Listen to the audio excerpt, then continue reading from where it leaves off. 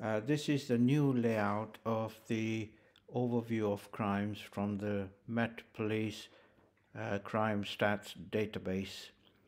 Um, the table shows the January 2023 to January 2023 figures that have just been published and the list, uh, the layout is slightly different. The start date and end date starts from there.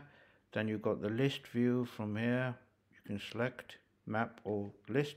So I've actually selected the list by selecting the Bexley wards, uh, they are down there, and uh, the safer neighborhood teams, then obviously the offences by, um, sorry, area by, this is the area, you select the wards, and the offences by category, uh, the same as before, uh, nine categories and uh, left as it is.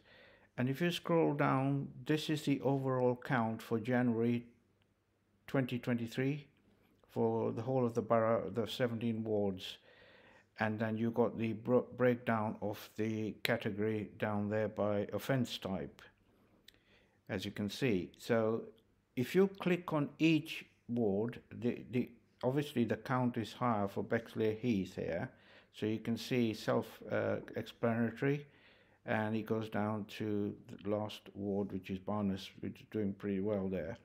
You click on each one then the fences for that ward comes up as the count and it's broken down in the respective offence type.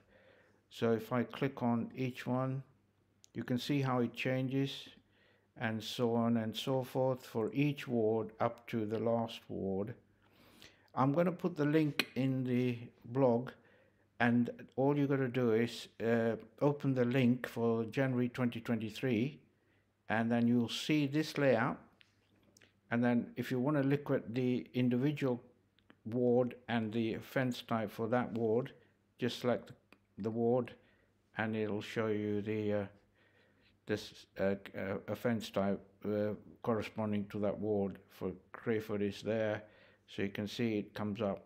You can then obviously export it by sharing it using the share tab and then uh, just uh, play around with it. So have a look at this. I hope that helps you out. The the link is in the blog and this video explains how I arrived it uh, as a new layout for this year January 2023 is in this fashion. uh, Uh, hope you like the video. Thanks for watching. Bye for now.